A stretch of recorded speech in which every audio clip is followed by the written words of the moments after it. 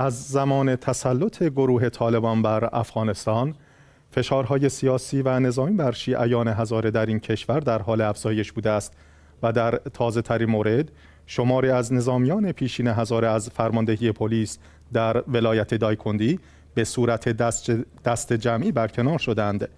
منابع محلی در ولایت دایکندی در مرکز افغانستان می‌گویند که کمیسیون تصفیه صفوف گروه طالبان نه نفر از نظامیان پیشین را از بخش‌های مختلف فرماندهی پلیس ولایت دایکندی برکنار کردند. به گفته منابع محلی، گروه طالبان این افراد را بدون دلیل موجه برکنار کرده است و هشت نفر آنها از قوم هزاره و یک نفر آنها از قوم سادات است.